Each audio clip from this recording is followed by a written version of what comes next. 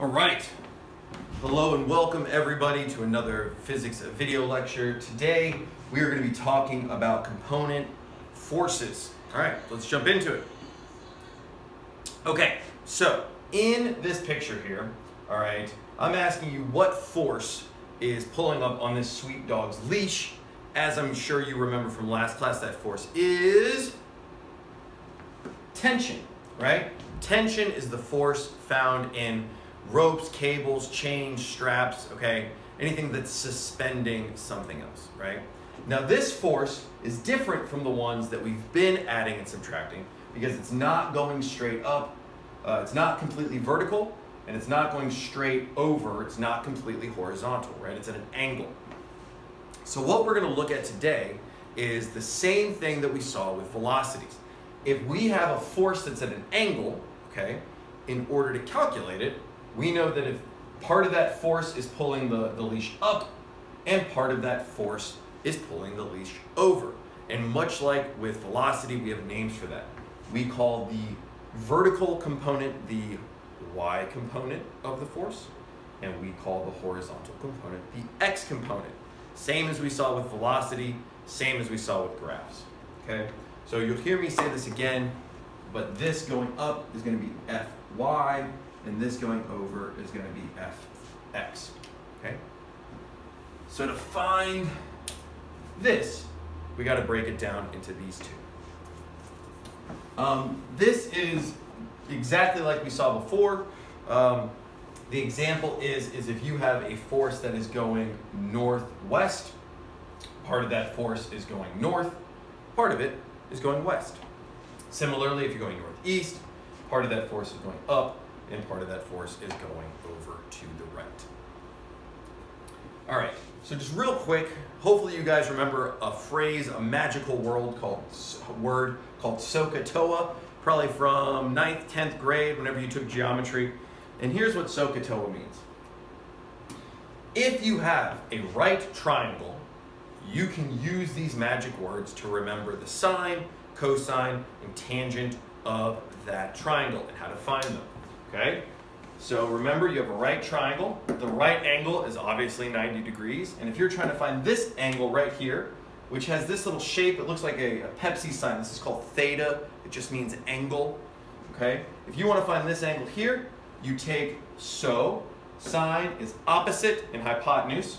So here's the angle, here's the opposite side, and the hypotenuse is the long side. You divide this length, the opposite, by this length, the hypotenuse, that's your sine. Here, if you want to find the cosine, you take a, C-A-H, the adjacent side, and divide it by the hypotenuse. And we're not using the tangent today, but that's TOA, opposite over adjacent. And this is the magic of SOHCAHTOA. All right. So how does this work and what we're going to use it? Now before we were looking at forces at 90 degrees to each other. What does that mean? It means that the forces were either going straight vertically, okay, or straight horizontally. They were either going just up and down or side to side. And to add these forces is super easy, okay? If the forces are going in the same direction, like here, you got 100 newtons and 150 newtons, and you're going in the same direction, you just add them up. And if they're going in opposite directions, like this one's 150 and this one's 100, you subtract them.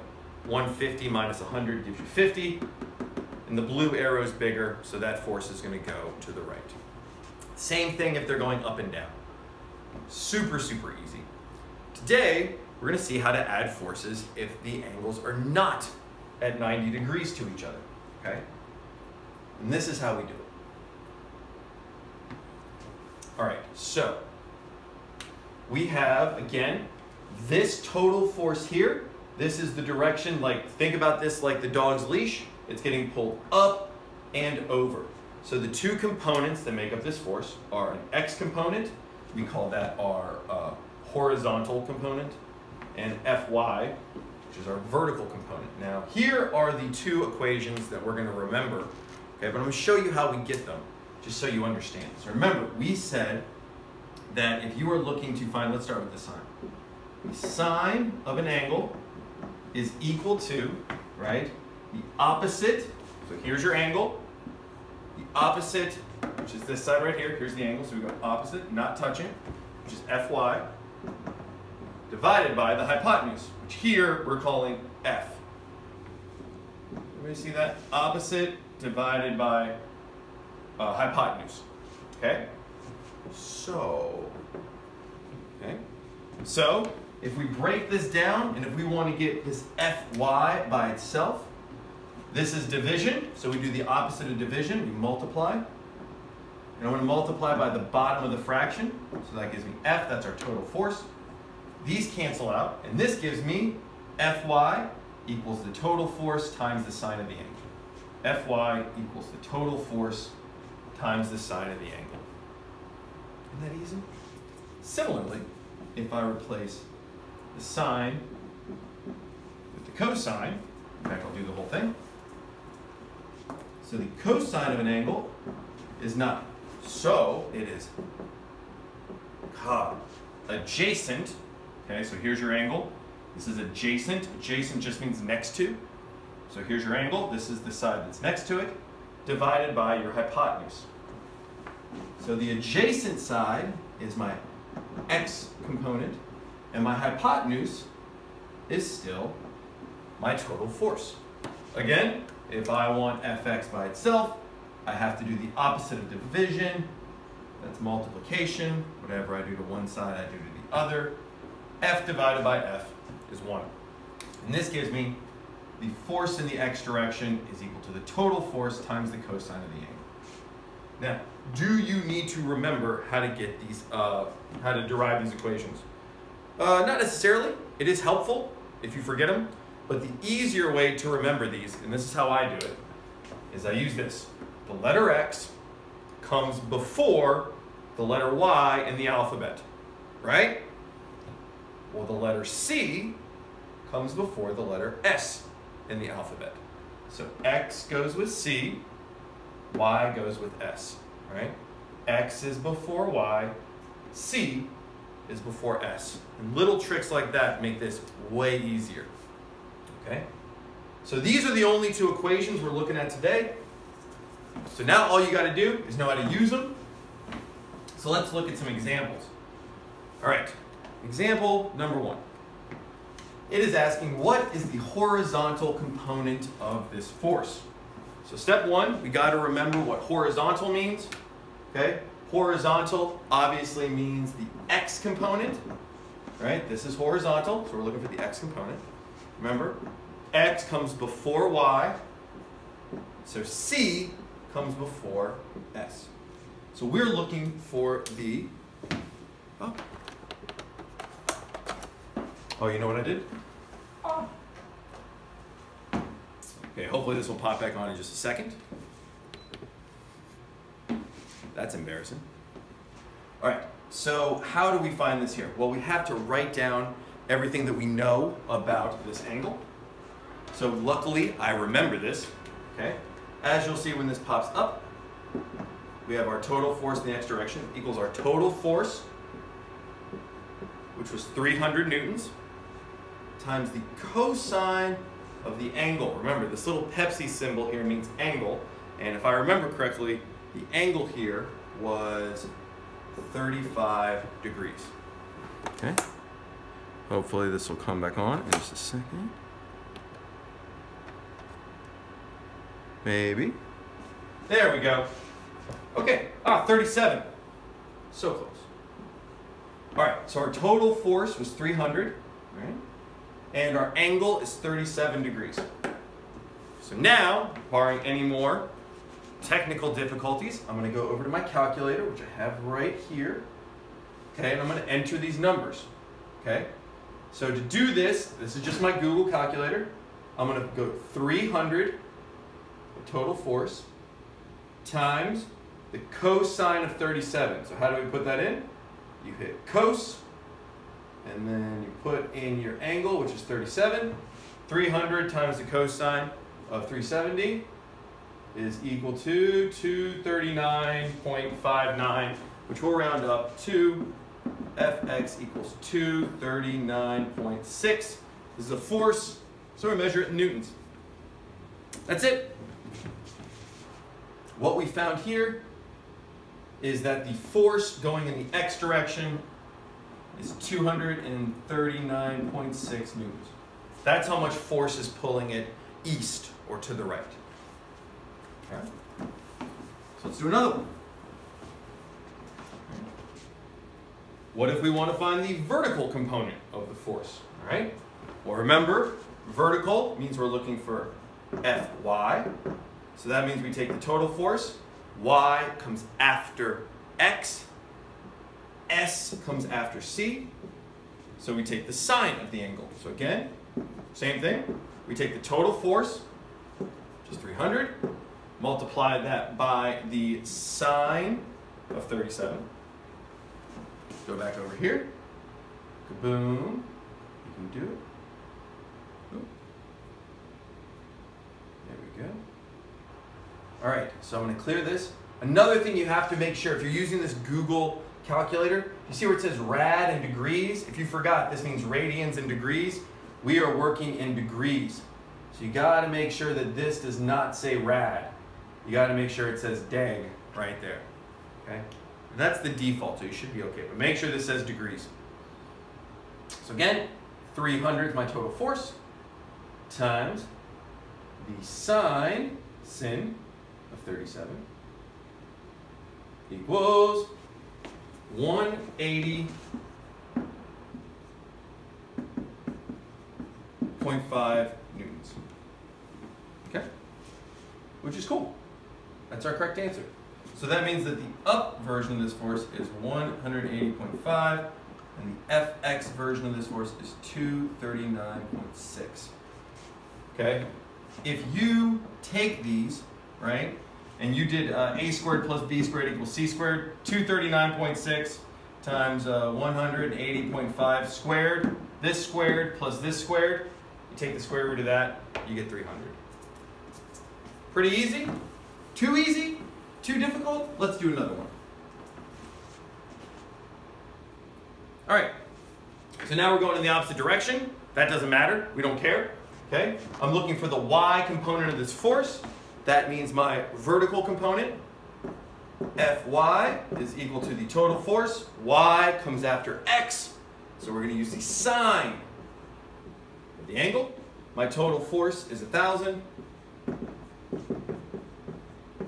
times the sine of my angle, and my angle to the, uh, the, the ground is 60 degrees. Okay. Again.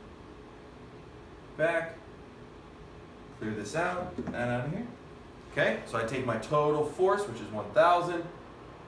I multiply it by the sine of 60.